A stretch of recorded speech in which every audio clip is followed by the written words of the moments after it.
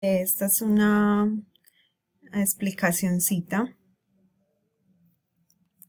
de una de las páginas que les recomendé. Entonces estamos acá y ah, bueno, acá tiene una cantidad de información mm, sobre lo que hay pues como en el momento. Acá me, me está como asesorando para tener pues como más información sobre esos temas. ¿Sí? Si ustedes quieren buscar algo, ustedes ah, pueden ir aquí a Search y por ejemplo buscamos esto. Vamos a darle Enter. Y aquí me dice que busca en libros, en revistas o páginas web. acá me, sale toda una gran cantidad de libros. Generalmente los libros en esta página mm, son eh, para comprarlos, ¿sí? Pero las páginas te manda a páginas donde pues ahí si no hay como, vamos a entrar acá, no tendríamos que pagar nada. Sí, mira, dice que aquí hay una nueva especie de gato salvaje identificado en Brasil. Y mira, me muestra las fotos. Si ustedes buscan eso en Google, pues mm, posiblemente no les va a salir. Les sale otra información. Y miren que me muestra quién lo escribió. Es un artículo, dice que eh, podemos leer este artículo, mira acá abajo. Este artículo es gratuito, ¿sí? Freely available on the Cell Press website, ¿sí? Me está mandando acá a esta página y me dice que el archivo es gratuito.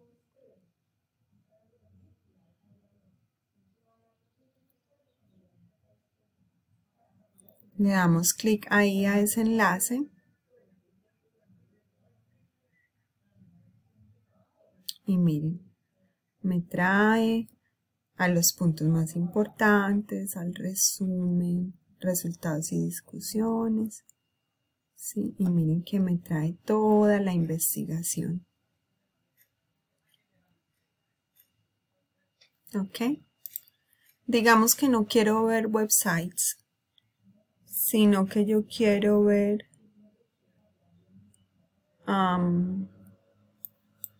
revistas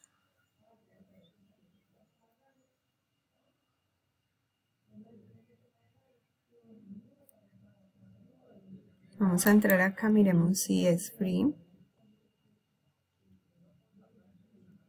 Bueno, acá, acá, miren que no es gratuito.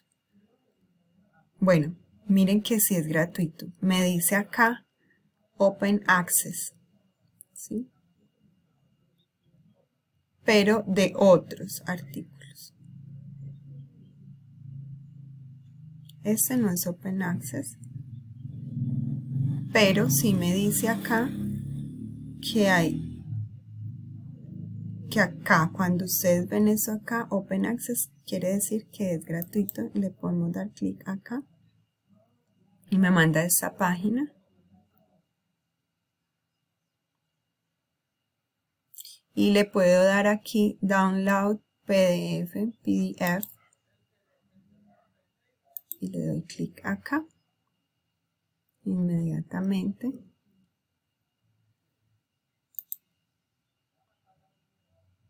Me, me regala el artículo.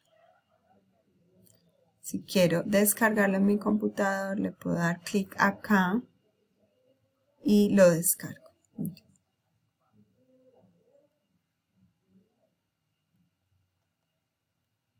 Hay muchos artículos gratuitos, otros no son gratuitos,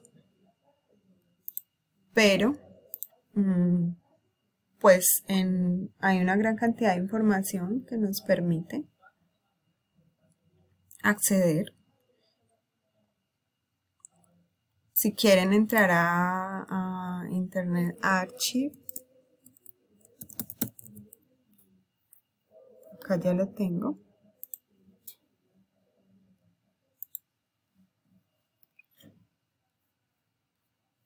Él me da opciones de ir a textos, a videos, audios, software e imágenes. Pues lo que nos interesa es como las bibliotecas, los libros o los... Entramos a una biblioteca y acá están todos los libros que me permiten leer. Pues nosotros no vamos a escoger un libro porque sería eh, muy grande el reporte y nos demoraríamos mucho leyendo más en inglés. Pero puedo buscar un algo pequeño en el caso que quieran buscar acá.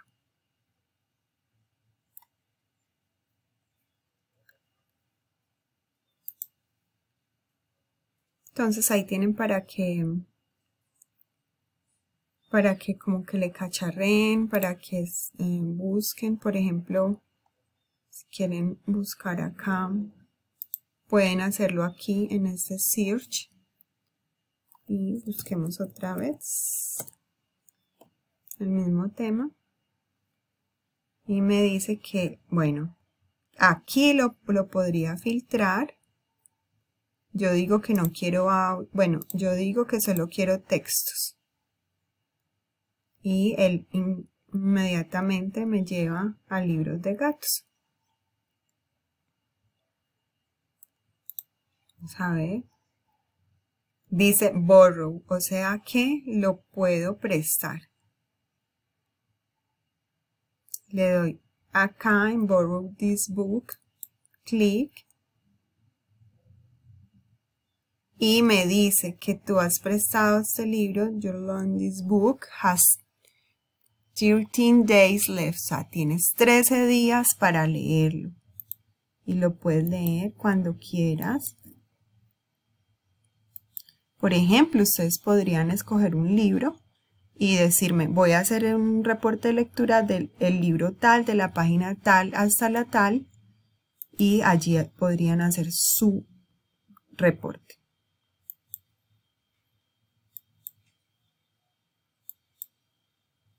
es, muy, es sencillo, lo que pasa es que tenemos que empezar a ya a utilizar todas estas herramientas.